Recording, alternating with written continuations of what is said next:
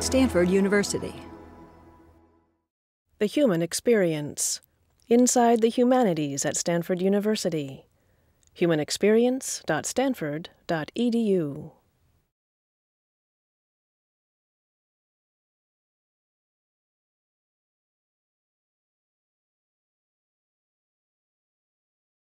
Today I want to talk to you about the tragic passions from Shakespeare to Verdi. And it's important to understand that, particularly from about 1550 to 1800, pathos, uh, which could mean suffering, but was usually interpreted to mean a kind of emotional suffering, was thought to be at the very heart of tragedy readers of Aristotle saw that although there were other elements of tragedy, such as recognitions or reversals, the one thing that no tragedy could do without was pathos. And therefore, they really conceived of a tragedy as the good imitation of a series of passions that were intended to press the audience through an affective series of passions, particularly emphasizing wonder, pity, and fear, so that the end of tragedy, the purgation of those passions, could be achieved.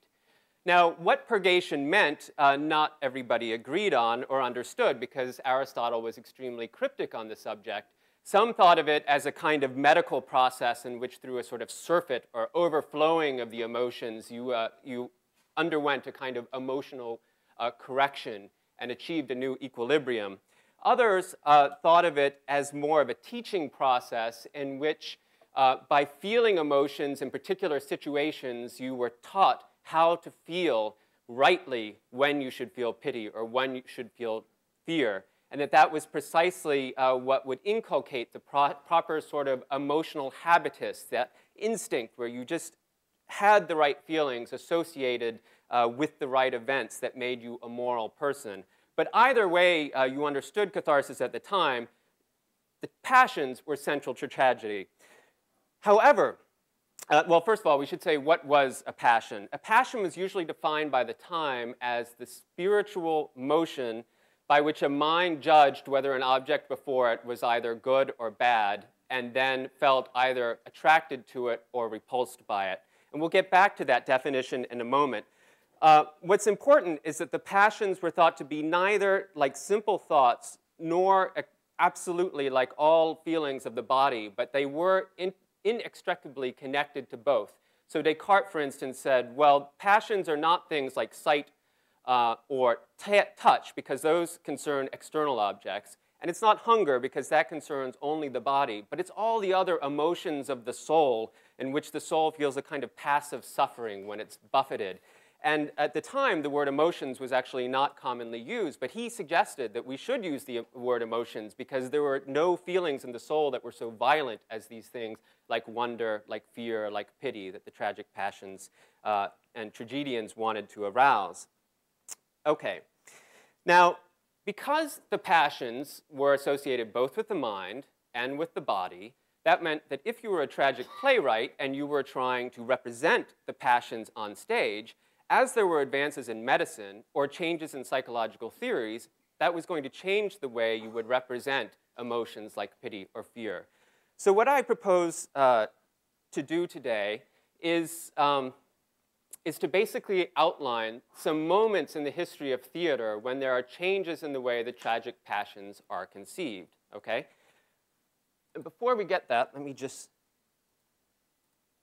show, my, uh, show this slide to, um, to underline the way in which people thought about uh, the, way you should interpret a script. This is a passage from Hamlet. Um, it's the, the moment when Claudius is feeling repentant. And you can see there's a little emotional script at the top that says that the actor is supposed to go from remorse uh, to attempt toward repentance, toward obduracy and despair. And then there are more details going down the margin. So this is the way people were taught to act at the time you would read a script and you would essentially jot in the passions you were supposed to be performing. So it just shows how central it was to their conception of what was going on. But now I'm going to uh, talk about these four kind of time slices in theatrical history. And the first one I'm going to pick out is about 1590, right at the beginning of Shakespeare's career. And what I say about the passions then will be pretty much true from about 1550 to 1650, a time when Galenic medicine, uh, the, which we'll get into, uh, the ancient uh, Greek um, physician, those theories uh, obtained and influenced the way people understood the passions. The second uh, time slice that I'll look at is from about 1650 to 1750, when there's a bit of a change in medical theories and a more Cartesian idea of the body as something more like a machine becomes uh, more common. And that changes the way people write their tragedies. And that's the model you should really think of when you read Racine or Dryden or listen to a Handel opera or listen to a Vivaldi opera. The third slice I'll look at is, uh, comes right after that, around uh, 1750 and later, when the associationist psychology of John Locke and new theories of nerve physiology that start to uh, get people thinking about feelings more as a vibration of the nerves that's closer to the vibrations of the string of a musical instrument. And that again changes the way people want to represent the passions on stage. And that's what you really ought to be listening for for things that are written from 1760 to 1800. Um, operas by Gluck and some of his contemporaries. And then finally, we'll look at the sort of romantic revolution in which um, Shakespeare is uh, fully embraced by tragedians all over the, the, world, not just in England. And what they conceive to be his organic form becomes the model for the way the passions ought to be represented and moved on stage. So those are going to be the four sort of time points I'm going to move through. So let's start with the first model, uh, I said a moment ago that a passion was a spiritual movement or operation of the mind in which it was attracted or repelled by an object that it's come to know. And I want to focus on this question of the spirits. What are these spiritual movements? Well, according to Galen, the ancient Greek doctor, the spirits were themselves the product of a refining process in the body. And there were three types of them. There were natural, vital, and animal spirits we probably all know the expression animal spirits from Wall Street, right? That's, that's where it comes from. It goes way back. So the natural spirits were produced in the liver from the production of the blood and were conveyed through the body and veins. Then the vital spirits uh, traveled through the arteries um, and were also thought elsewhere in the universe uh, to make the stars glow because it was thought that people uh, were made up of the elements of the universe. And those were refined in the liver and then finally, the animal spirits were refined in the brain, and those were what brought sensory information to the brain and also uh, sent the messages from the brain to initiate gestures or other sorts of physical motions. So this is, um, it was also thought then that an imbalance of the four humors could affect the production and distribution of spirits, um, of these spirits. But mostly, any kind of sudden flux or reflux of them was thought to be caused by the mind's attraction or repulsion to some object, okay? So that um, when people thought about the passions in this period, they really thought about there being this almost physical rush of air going through little tiny tubes in your body, you can think of it that way, and forcing a particular uh, response or reaction of flee, you know, I see danger, or go toward her, she is beautiful, right? Um, so as the soul passively suffered the sometimes violent movements of the spirits and fluids of the body, uh, if they were very powerful, it felt like you were caught in a storm. And that was one of the loci classici, this, the passages that came from um, classical literature that people imitated a lot in the Renaissance. And I've given that to you as number one on your handout. There are many examples, but this is from Seneca's Medea, where she says, A double tide tosses me, uncertain of my course, as when rushing winds rage warfare, and from both sides conflicting floods lash the seas, and the fluctuating waters boil. Even so, my heart is tossed. Okay? And that imagery then becomes commonplace in the church uh, fathers, and they speak constantly of the passions as undulating seas or blowing tempests. Okay? Now, these comparisons between the human body and the processes of nature were actually promoted by the fact that the ancient Greeks felt a taboo against anatomizing human corpses. And therefore, they were led to analogize um, about what could be going on inside the body by looking at natural processes that they were able to observe more easily. And that encouraged the idea that man was a microcosm of the universe.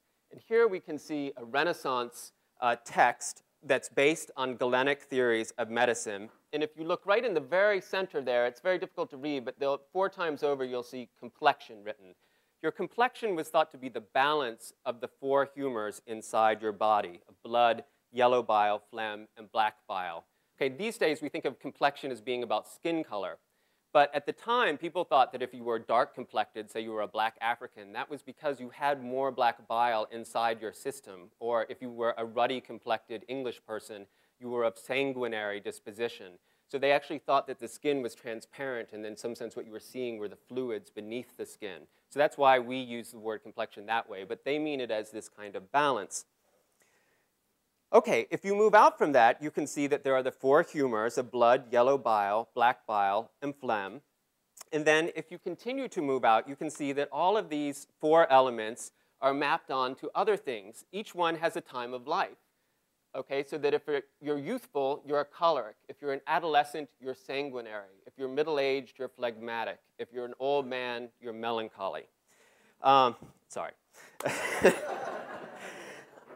They're also connected with the four winds, with the four seasons of the year, with the four elements of the world, which were thought to be air, fire, water, and earth, with their tutelary planets, and with their constellations. So it's really important to know that when you're watching a tragedy of Shakespeare or one of his contemporaries, they really think of the hero on stage as being connected to the whole universe. And when someone talks about, say, being star-crossed lovers, that has a kind of immediacy to them that it would not have to us because the stars actually are affecting people's passions and their humoral dispositions depending on how they're being governed.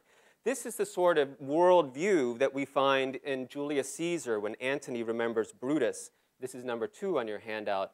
And he says his life was gentle and the elements so mixed in him that nature might stand up and say to all the world, this was a man. But these are the elements he's thinking about. They really are the elements of the universe and the same elements that appear in the stars and el elsewhere.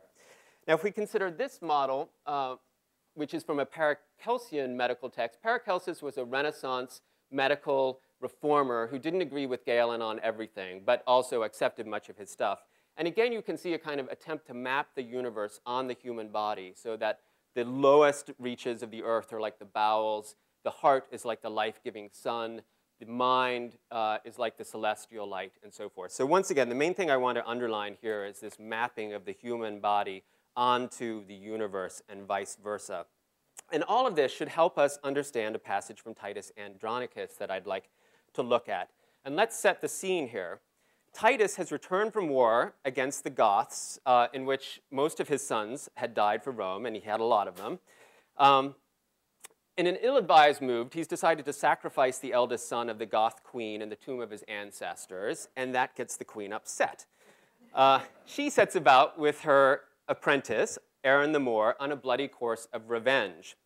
They manage to kill Titus. Well, no, actually, they don't kill her. That would have been more merciful. They rape the uh, daughter of Titus, cut out her tongue, and lop off her hands so that she can't reveal who has done the crime. All the time doing this on the dead body of her husband. Then they frame two of Titus's uh, sons for the murder and have them executed. Then they tell Titus that if only he cuts off his own hand and sends it to the emperor, he'll at least get his sons back. So he gladly lops off his hand, sends it, and gets only the heads of his son back, which was a little less than he was counting on. So uh, that's all to say that Titus has a lot to complain about at this point. and we'll see that he does. Um, and when you listen here, you'll see that there's a very programmatic sort of association. I'm sorry about the music, can't do anything about it. Um, programmatic association between uh, his own feelings, his own passions. He compares himself to the seas. I can do something about it. I'll turn it down. Um, and then the size of his daughter Lavinia, who has been raped and mutilated, to the blowing of the winds. And there's this very kind of programmatic association between himself as a microcosm of the universe uh, as he talks about his grief. Oh, here I lift this one hand up to heaven and bow this feeble ruin to the earth. If any power pities wretched tears, to that I call. What wouldst thou kneel with me? Do then, dear heart, for heaven shall hear our prayers. Or with our sighs we'll breathe the welkin dim and stain the sun with fog, sometime clouds, when they do hug him in their melting bosoms. Oh, brother, speak with possibility and do not break into these deep extremes. Are not my sorrows deep, having no bottom? Then be my passions bottomless with them. But yet let reason govern thy lament. If there were reason for these miseries, then into limits can I find my woes! when heaven doth wake, doth not the earth overflow? If the winds rage, doth not the sea wax mad? Threatening the welkin with his big swollen face. Wouldst thou have a reason for this coil?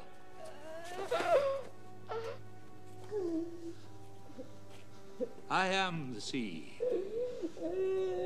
Ah, Hark how her sighs do blow. She is the weeping welkin, I the earth. Then must my sea be moved with her sighs. Then must my earth, with her continual tears, become a deluge overflowed and drowned.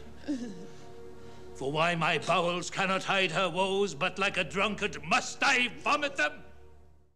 So, um, so later on in Shakespeare, he doesn't always connect the dots between the uh, nature and the body so, um, so precisely. This is a, Titus is a young work from Shakespeare.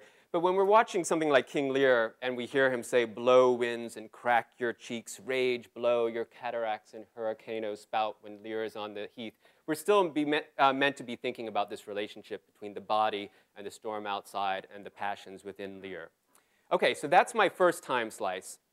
The second one uh, is from about 1650 to 1750, and it's encouraged by a couple of different developments.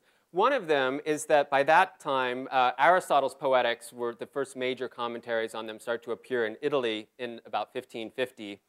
And people start to theorize uh, on the uh, have the idea that any of the arts may be able to um, arouse these emotions of pity and terror and wonder that are necessary to accomplish a cathartic effect. But if you want them all to coordinate, which was especially important for an art form like opera, then it seemed like it would be a good idea to have a kind of universal rhetoric of the passions in which if a librettist wrote down something about love, a musician would know how to set it, or an actress would know how to perform it. So there's a real attempt to uh, create a kind of taxonomy of, um, of the passions. And on the one hand, uh, most theorists say, yes, of course, the passions are as numerous and as difficult to define as the winds and the tides. However, let's give it a shot. And the shot they do is uh, the most uh, basic um, model breaks down four basic passions. And we can think about these on a kind of Cartesian plane. In the present, you feel either joy or grief, right? And in the future, of something that you're looking forward to, you look forward to it either with, either with desire or with fear, okay? And these emotions essentially get uh, expressed either vertically, so that triumph, uh, your spirits are elated, and you basically want to hold your hands up or stand up high. You want to jump for joy, right? Whereas if you're feeling sadness or despair, the facial features droop the hands uh, hang low, and so forth. And we know pictures of Lady Macbeth, for instance, Leyden, uh, Lady Macbeth. She's always depicted as drooping her hands like that. Um, on the other hand, the vertical and the horizontal axis can be used in combination. The horizontal axis is what indicates whether you want to go toward an object or away from it. Um, but in gestures like odium, the one on uh, your left, she's not only repulsed by the object, but there is an indication with the hands held down at the waist that the object is beneath her, right? Maybe it's an un, uh, unsuitable suitor. Uh, on the other hand, on your right, the gesture of terror is of aversion as well, but the hands up suggests that the, there's a sense that, of the objects having superior power, maybe being a god or something horrifying, right? So these two axes can be used in complex ways in combination, but that is the basic grid uh, that's operating. Um, now, it's useful to keep this grid in mind when you read 17th century dramatists like Dryden or Racine. Uh, and I want to take an example from Dryden's All for Love, which is a restoration rewriting of Shakespeare's Antony and Cleopatra. And at the very beginning of that tragedy, Antony enters at the ab absolute low ebb. Uh, you know, Caesar is winning, Antony thinks he has no future. And this is number five on your handout. And he comes in and says, They tell me 'tis my birthday and I'll keep it with double pomp of sadness. Tis what the day deserves which gave me breath. Why was I raised the meteor of the world, hung in the skies, the bl and blazing I traveled, till all my fires were spent, and then cast downward to be trod out by Caesar. Ventidius, his faithful uh, sidekick, says in an aside, Oh, my soul, tis mournful, wondrous mournful. Antony, count thy gains now, Antony. Wouldst thou be born for this? Glutton of fortune, thy devouring youth has starved thy wanting age. Ventidius, how sorrow shakes him. So now the tempest tears him up by the roots, and on the ground extends the noble ruin. And Antony at this point would be extended completely flat on the ground, which uh, by the standards of the 17th century was a very drastic gesture, right? Because people had a sense of dignity. Lie there, thou shadow of an emperor. So he's addressing himself. The place thou pressest on thy mother earth is all thy empire now. Now it contains thee. Some few days hence, and then twill be too large, when thou art contracted in thy narrow urn, shrunk to a few cold ashes. Then Octavia, his Roman wife, for Cleopatra will not live to see it, Octavia then will have thee all her own, and bear thee in her widowed hand to Caesar. So this is a grand stage picture, obviously. It's the ultimate use of the vertical axis with the, uh, with the hero completely dejected and spread out on stage. And Dryden wants to do that in part because he wants to use all of Act One to work slowly up to re reviving Antony and having him make a heroic exit at the very end of the act. And he'll do this over and over again five times until Antony dies. But uh, at the end of Act One, he's gotten Antony uh, back into fighting spirits, and Antony says, number six on your handout, Come on, my soldier, he's talking to Ventidius, our hearts and arms are still the same. I long once more to meet our foes, that thou and I, like time and death, marching before our troops, may taste fate to 'em, mow 'em out a passage, and entering where the foremost squadrons yield, begin the noble harvest of the field. This incredible, you know, it's the, he's the Grim Reaper coming to mow down the opposing army. And Dryden is very interested in working in these big uh, movements across acts on this vertical and horizontal axis. He also uses the horizontal axis. For instance, this is number seven on your handout. Ventidius surprises him with his Roman wife and his children, which ought to, uh, Ventidius thinks, uh, spark some sense of uh, duty in Antony and love for his own family. But instead, Antony instinctively withdraws from them in horror. And Ventidius looks at him and says, Look on her, meaning his wife. View her well and those she brings. Are they all strangers to your eyes? Has nature no secret call, no whisper that they are yours? So again, it's this use of the horizontal axis there. Then what he should be attracted to, one would think, his wife and his children, he's instead repulsed by because he's in love with Cleopatra, right? Okay, and to give one more example of, uh, of effective use of this horizontal passage, in, a, in some ways, anti-version of Antony and Cleopatra that the French tragedian Racine wrote, Berenice, um, the French, uh, the Roman emperor uh, wants to marry a foreign queen, but isn't supposed to because that's against Roman law. And she decides that although they've been in love for many years, she will basically just walk away from him and um, leave him to be emperor. And that's all she does at the end of, of, the tragedy. No one dies, nothing happens. It all depends on our feeling that the ability of someone in love to walk away is somehow, um, you know, incredibly, takes an incredible uh, act of will. So again, it's that use of the, vertic of the horizontal axis, but this time um, in a quite different way.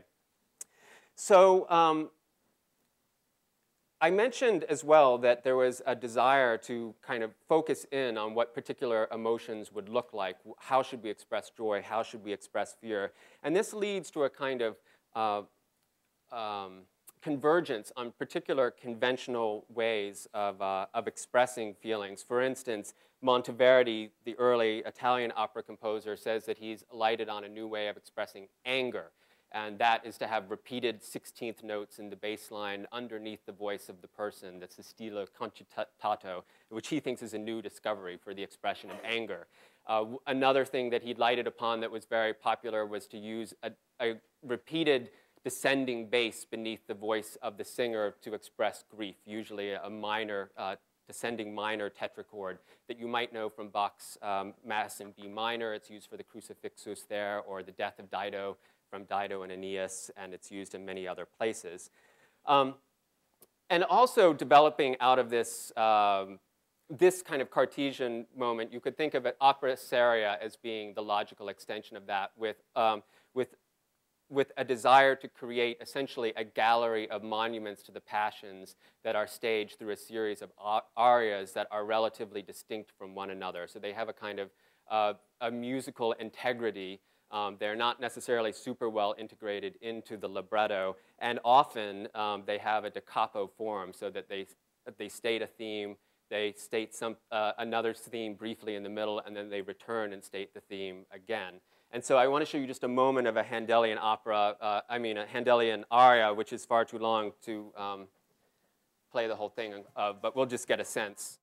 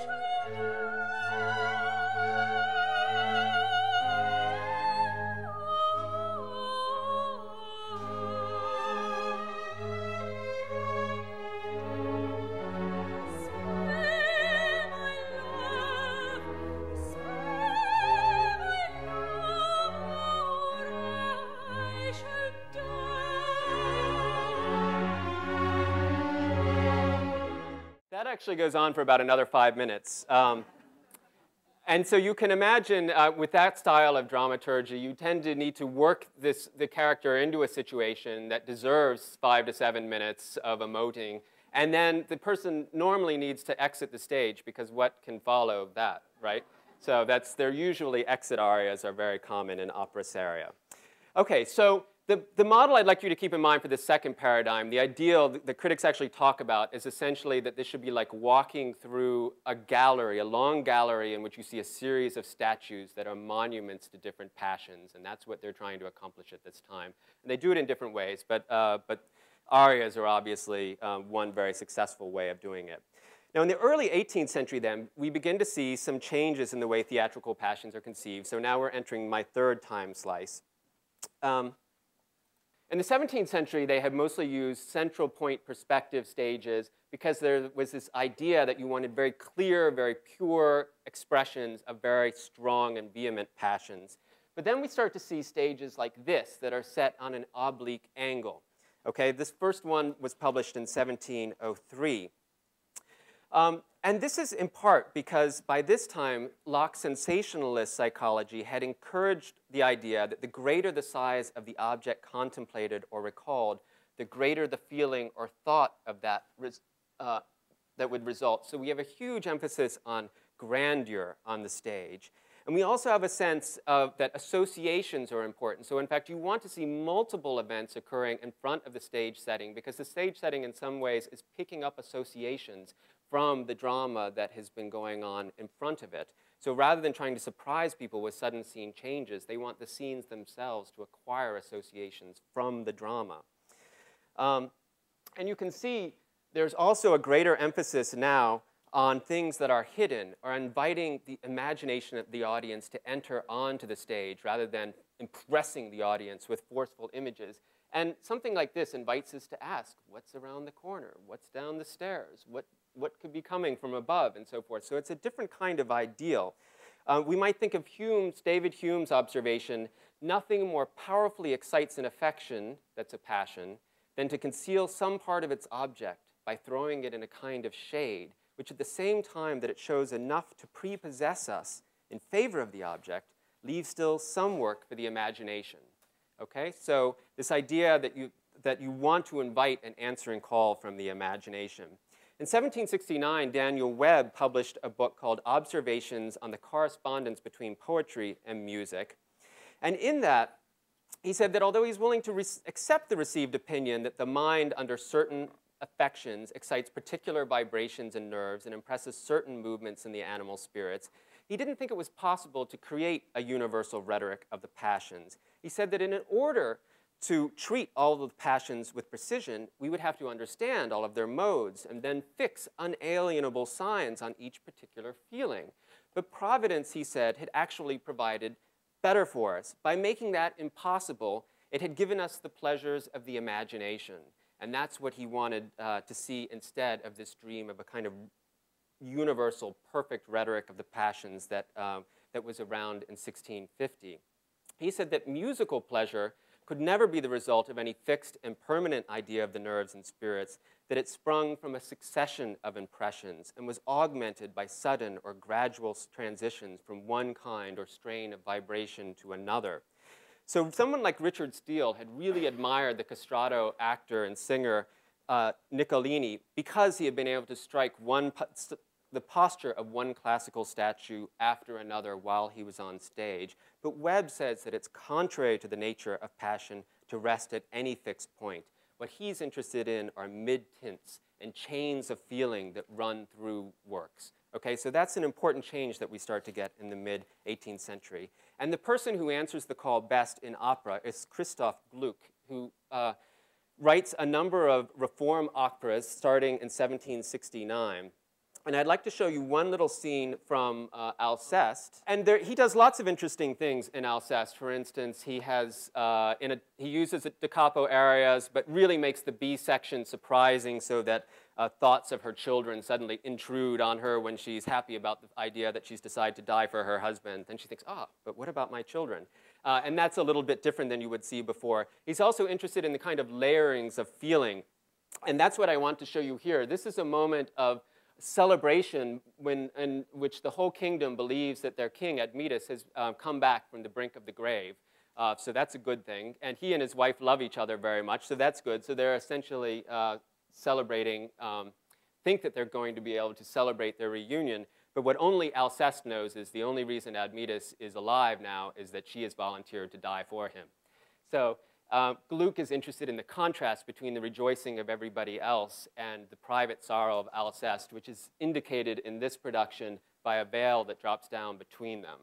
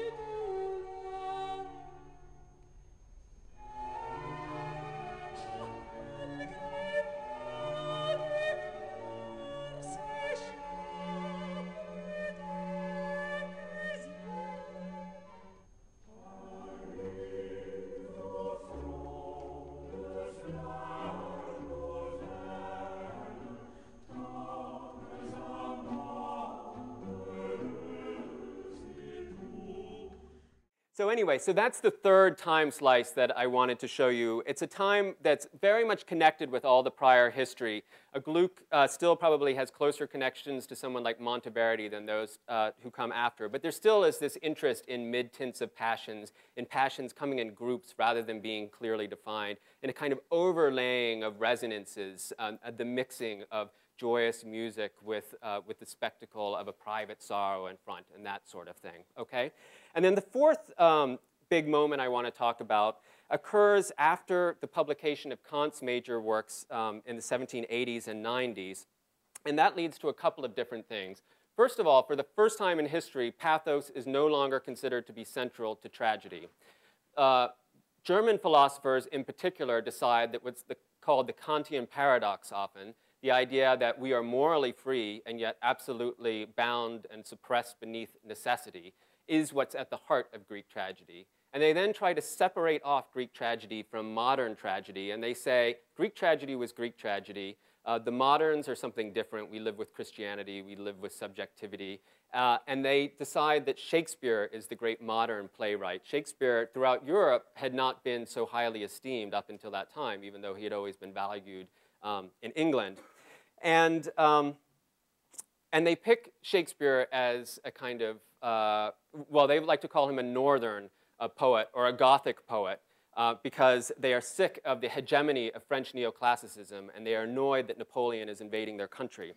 Uh, so they decide to uh, pick Shakespeare as the beginning of what they think will be a great German dramatic tradition that will be northern and not classical and southern. And, uh, and they have to make sense of Shakespeare, uh, as does someone like Coleridge, uh, who doesn't, doesn't um, look very good if you judge him by Aristotelian standards. He, his works are not unified, he mixes the serious and the comic. Um, there are all sorts of problems with Shakespeare. Uh, so the, the method they come up with is to talk about organic form rather than mechanic beauties or regular beauties. And they really insist on this idea of organicism. And they furthermore, uh, they and English critics promote character now all of a sudden as a unifying force. If, some, if there is a character who is great and powerful, that can be a form of cohesion in and of itself, which is an idea that's not apparent in Aristotle and is based largely on the novel, which is now a new genre. People are reading Richardson and so forth, and they're getting this idea of character as a central element of literary criticism. Um, okay, so so what that basically does is it encourages, um, I guess you would call it kind of a looser conception of the passions, one in which things like memory uh, can intrude on desire and are more important, in which the passions are thought to be very much associated with the depiction of character, um, and in which there's an effort to give a kind of cohesion to works that appears to be in some ways organic rather than strictly regular. They often use the comparison, they say the old style was like the French clipped uh, boxwood hedges in the parterre of a formal French garden. We want to make English landscape gardens in which it all seems like natural. It all seems like nature, and one vista leads on to another, and there are weeds growing beneath the oaks, but it's all more grand. Okay, and so uh, I. For my example of that, I actually want to take an example. It's quite late. It's from 1880, but I think it's, it's uh, Verdi. It's telling that so anyway, so I'm, I'm, picking Verdi, and it's telling that Verdi looks to Shakespeare as the great tragedian he wants to uh, turn into opera, right? Whereas someone like Gluck, whom we had to see in our imagination, uh, did Euripides over and over again. So there, it was still Euripides that had the great prestige in the 1780, whereas by the time Verdi is writing it, Shakespeare. And I'll just show you the very last moment of Otello, uh, one of Verdi's last works. And what's important here, I think, is that the theme that plays as he tries to kiss the dead Desdemona is a theme that has played throughout the work at key moments, for instance, when they kissed each other after, their, uh, after uh, reminiscing about their early loves when they're supposed to be going off to their wedded bliss, and at other key moments like that. So Verdi's trying to suggest that uh, memories and desire and uh, the passions are all sort of interconnected in this uh, complex moment. Fiat tu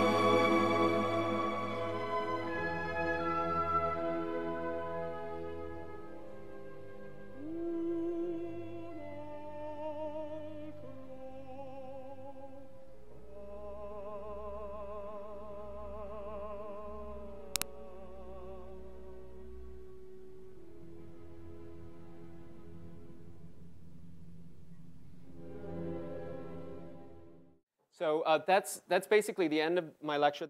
The Human Experience Inside the Humanities at Stanford University. humanexperience.stanford.edu. For more, please visit us at stanford.edu.